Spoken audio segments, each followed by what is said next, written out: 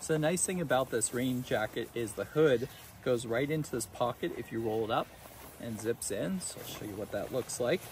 So you basically just roll it up nice and tight and then you could stuff it in this pocket and just zip it up like this and then it would be concealed in that pocket which is so nice.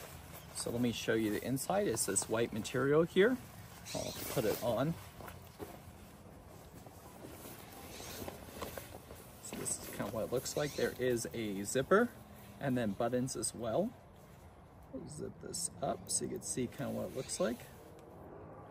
Zipper starts part way up. It's not all the way at the bottom.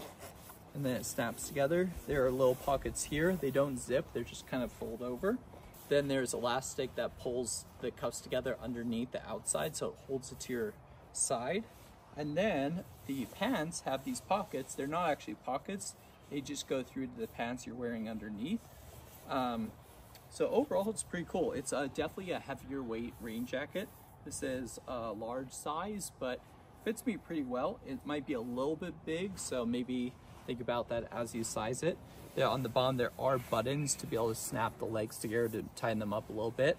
And then for the pants, there's a drawstring to tighten them, and same with the top here. And here is the hood, which just kind of looks like this. And then you just tie it down below. So overall, it's pretty cool. So let me spin around show you this jacket. This is kind of what it looks like. So it's really nice. It's really waterproof.